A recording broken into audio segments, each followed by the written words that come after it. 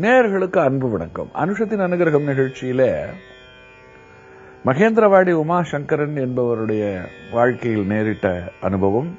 அவர் எழுதின புத்தகத்திலே இருந்து சில பகுதிகளை நம்முடைய நேயர்கள் அறிவதற்காக நான் இங்கே பேசிக் கொண்டிருக்கிறேன். அதுல அவர் தான் பெரியவர் முன்னாலே தன் கண்ணெதிரிலே பார்த்த ஒரு அனுபவம். ஒரு வயதான பெரியவர் மிகுந்த வருத்தத்தோடு பெரியவரிடம் வந்து தன் கஷ்டம் குறைகளை சொல்லி நின்ற பொழுது பெரியவர் அவர்கள் மூன்று சீவர தரிசனம் செய் எல்லாம் நல்லபடியாகும் என்று சொல்லுகிறார். அதில் மூன்று சீவரம் என்பது மூன்று ஊர்களை குறிக்கிறது. அதுல ஒரு சீவரம் என்பது வாலாஜாபாத்துக்கு பக்கத்தில் இருக்கக்கூடிய தண்டு சீவரம். இன்னொரு சீவரம் என்பது பழைய சீவரம் முக்கூடல் என்று பெயர். அதுவும் அங்கதான் பக்கத்தில் தான் இருக்கு. மூன்றாவது சீவரம் எங்கே இருக்கிறது என்று தெரியாத ஒரு நிலை. ஏன்னா சீவரம்ங்கிற பேர்ல ரெண்டு ஊர் தான் இருக்கு. மூன்றாவதா ஒரு ஊர் இருக்கா மாதிரி தெரியல. அதனால ஆனால் அந்த கோயிலுக்கும் போகணும் அப்படின்னு சொல்லிட்டு மகா பெரியவர் அவர்கள் சொல்லி இருக்கிறார்கள் மூணு கோயில் தெரிஞ்சா தானே ஒரே நாள்ல அல்லது திட்டம் போட்டு கொண்டு போயிட்டு வர முடியும். அதனால என்ன கோயில்னு தெரியல. அந்த கேள்விக்கு விடை பக்கத்தில் இருந்து கவனித்துக் கொண்டிருந்த திரு உமாசங்கரன் அவர்களுக்கு கூட உடனே தெரியல. மாங்காட்டில் வசித்து வருகின்ற சந்தர்ப்பத்தில் திரு உமாசங்கரன் அவர்கள் நிறைய அம்பாள் பேர்ல எல்லாம் பாடல்கள் எழுதுவார். அப்படி எழுதும் பொழுது அம்மா நீ ஸ்ரீபுரம் அப்படின்னு சொல்லிட்டு ஒரு பாடல் எழுதுகிறார்.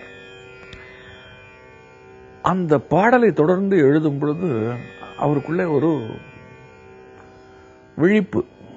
அது அந்த மூன்றாவது சீவரம் எது என்பதை அவருக்கு உணர்த்துவது போல் அவருக்கு தோன்றுகிறது.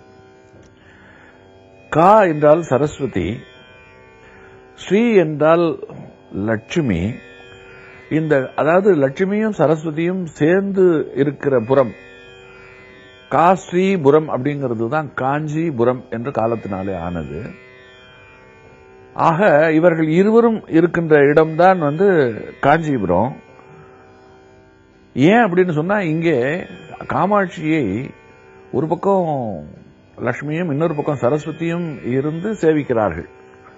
பாட்டல் வரிகளாகவே ஒரு வாணிரமா சேவிதாம் என்கின்ற ஒரு வரி இந்த விஷயத்தை பளிச்சென்று எடுத்துக்கொள்ளுகிறது அதனால இவருக்கு பளிச்சுன்னு என்ன ஸ்ரீபுரம்னு சொன்ன மாத்திரத்தில் அவருக்குள்ள ஒரு பொறி அகப்பட்டு காஞ்சிபுரம் தான் அந்த மூன்றாவதா என்று பார்க்கும்பொழுது பேச்சு வழக்கில் காஞ்சிபுரம் என்று சொல்லி அதிலே அந்த சீவரம் என்பது வந்து விட்டது ஆகையினால இப்பொழுது அவருக்கு தெளிவாக தெரிந்து விட்டது காஞ்சிபுரத்தில் இருக்கக்கூடிய கோவில் தண்டு சீவரத்தில் இருக்கக்கூடிய கோவில் பழைய சீவரத்தில் இருக்கக்கூடிய கோவில் இந்த மூன்று கோவில்களைத்தான் மகா பெரியவர் அவர்கள் மூன்று சீவரம் என்று குறிப்பிட்டார்கள் என்பது உமாசங்கரன் அவர்களுக்கு தெளிவாகிறது. அதற்கு பிறகு பெரியவரிடம் கேட்கும் பொழுது பெரியவரும் வந்து ஆமாம் நான் அதைத்தான் சொன்னேன் என்று ஆமோதிக்கிறார். இது எதுக்கு சொல்றேன்னா இந்த தகவல் மூலமாக நமக்கு நாம் என்ன தெரிந்து கொள்ளுகிறோம்? அதுதான் ரொம்ப முக்கியம். இந்த நிகழ்ச்சியினுடைய நோக்கம் அதுதானே. பெரியவர் போன்ற ஞானிகள் எந்த வகையில் நமக்கு உதவ முடியுமோ அந்த வகையில் எல்லாம் உதவுவார்கள். சில சந்தர்ப்பங்கள்ல அவர்களே நம்முடைய துன்பங்களை துயரங்களை வாங்கிக் கொள்வார்கள். சில சந்தர்ப்பங்களில் நமக்கு இப்படி கை காட்டி போய் நீக்கிக்கொள் என்று சொல்லுவார்கள். சில சந்தர்ப்பங்களில் இந்த ரெண்டையுமே செய்யாமல் நீ கொஞ்சம் கஷ்டப்படுவது நல்லது என்று விட்டும் விடுவார்கள். இப்படி பலவிதமான போக்குகள் இதற்குள்ளே இருக்கு. அந்த போக்குகள் எதை அடிப்படையாக வைத்துன்னா அவரவர்கள் கர்மத்தை அடிப்படையாக வைத்துதான் எல்லா கர்மத்தையும் ஒரு ஞானியாலே போக்கிவிட முடியாது ஒரு ஞானியாலே வாங்கி கொண்டு விட முடியாது ஒரு ஞானியாலே மாற்றி அமைத்து விட முடியாது. கர்மம் என்பது வினை வினை என்பது நாம் செய்தது நாம் செய்ததை நாம் அதுக்கு தகுந்த பயனை நாம் அனுபவித்துத்தான் தீர வேண்டும். ஒரு மண்ணை கிளறி அதற்குள்ளே விதையை போட்டு மண்ணை மூடியாச்சு. மண்ணுக்கு மேலே நின்று கொண்டு இல்லை இல்லை நான் தப்பாக போட்டுட்டேன் விதையே முளைக்காதே என்று சொன்னால் அந்த விதை கேட்கப் போவதில்லை. அது வந்து முளைத்தே தீரும். அதுபோல நாம் சில வினைகளை செய்து முடிச்சாச்சுன்னு சொன்னா அதற்கான விளைவுகள் வாழ்க்கையில கட்டாயம் உண்டு. இது வந்து விஞ்ஞானம். இதுல எந்த மாயமோ மந்திரமோ மிஸ்ட்ரி என்று சொல்லப்படுகிற எதுவுமே கிடையாது. இதுதான் உலக இயற்கை இதுதான் உலக நியதி. நாம் என்ன செயல் செய்கிறோமோ அந்த செயலுக்கு பதில் வினை என்று ஒன்று உண்டு. இதுக்கு விலகு விலக்காக இந்த உலகத்துல யாருமே கிடையாது. அப்போ அப்படிப்பட்ட அந்த வினை இருக்கிறதுல அந்த வினையை ஒரு குரு பல விதங்களில் நீக்கி நமக்கு நல்லது செய்யலாம். அதுலதான் அவர் வந்து இந்த மாதிரி வழியை காட்டுவது இந்த இந்த கோயில்களுக்கு போ அப்படின்னு சொல்லுவது. சில நேரங்களில் அவரே வாங்கிப்பார் என்று சொன்னேன். அதற்கும் ஒரு உதாரணம் இருக்கிறது அவருடைய வாழ்க்கையில. ஒரு தம்பதிகள் தன்னுடைய மகனை அழைத்து கொண்டு பெரியவரை தரிசனம் செய்ய வருகிறார்கள். அந்த மகனுக்கு வாலிப வயசு. ஆனால் தீராத வயிற்று வலி ஆங்கில மருத்துவம் ஆயுர்வேத மருத்துவம் சித்த மருத்துவம் என்று எல்லா வைத்தியமும் பார்த்தாகிவிட்டது. வயிற்று வலி நிற்பதாக தெரியவில்லை. என்ன செய்யறது என்றும் புரியவில்லை. அறுவை சிகிச்சை செய்தால் சரியாகுமானா அப்படியெல்லாம் அதுக்கான விஷயமும் கிடையாது. சில நேரங்களில் இந்த வயிற்று வலிக்கு காரணம் நம்முடைய எண்ணங்கள். இந்த எண்ணங்களை பற்றி ஆங்கிலத்தில் சொல்லும்போது என்ன சொல்வார்கள்? எண்ண அழுத்தம். எண்ண அழுத்தத்துக்கு ஆங்கிலத்தில் ஸ்ட்ரெஸ் என்று பெயர். அதாவது எந்த கோளாறும் கிடையாது. கிருமி அல்லது நோய் உபாதை அல்லது ஏதோ ஒரு பாதிப்பு. அதெல்லாம் ஒண்ணுமே கிடையாது.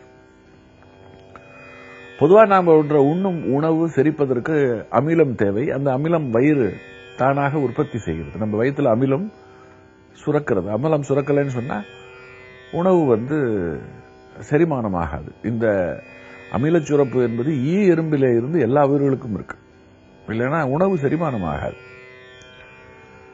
இந்த அமில சுரப்பு இருக்கிறதே இது வந்து ஒரு அளவோடு இருக்கும் வரையில் தான் ஆரோக்கியம். இந்த அமில சுரப்பு ரொம்ப அதிகரிக்கும் பொழுது ஆங்கிலத்தில் அது ஆசிட் செக்ரியேஷன் என்று சொல்லுவார்கள். அது என்ன பண்ணும்னா வயிற்றுல உணவு இல்லைன்னு சொன்னால் வயிற்றையே அரித்து சாப்பிட தொடங்கிவிடும். ஒரு பாம்பு பசிக்கு தன்னுடைய வாளால தன்னையே விழுங்கிக் கொள்வது போல் ஒரு செயல் இது அப்போ காரணம் வந்து அப்போ வயிற்று வலி ஏற்படும் புண்ணி ஏற்படும் தாங்க முடியாத வேதனை ஏற்படும். அப்போ இதுக்கு காரணம் அந்த அசிடிட்டி அதிகமாக அதிகமாக இருப்பதற்கு என்ன காரணம்னாக்கா எண்ணங்கள்.